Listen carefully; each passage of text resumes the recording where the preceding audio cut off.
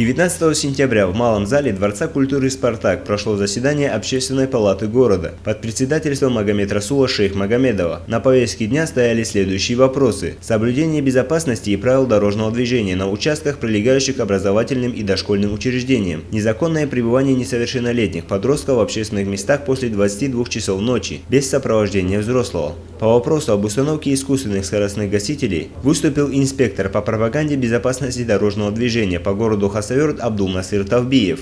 Безопасность этих наших граждан. Но, тем не менее, их надо, конечно, ставить по стандартам. И вот при вокзальной улице, то, что скоростогаситель очень острый такой, он зимой будет собираться лед, и, конечно, там проехать невозможно. По вопросу незаконного пребывания несовершеннолетних подростков в общественных местах после 22 часов ночи без сопровождения взрослого выступил начальник по делам несовершеннолетних Руслан Бугаев рост все-таки незначительный, но, но он есть.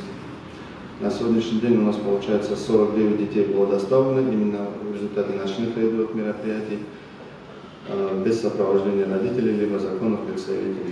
В завершении заседания члены Общественной палаты, председатель Совета ветеранов отдела МВД России по городу Хасавюрт Зайбудин Амаров, преподаватель аграрно-экономического колледжа Мадина Сатиаджиева, эксперт Кураж Митеев сделали акцент соответствующих служб на ряде проблем, требующих незамедлительного решения, и вынесли постановление с рекомендациями для служащих ГИБДД и отдела ПДН.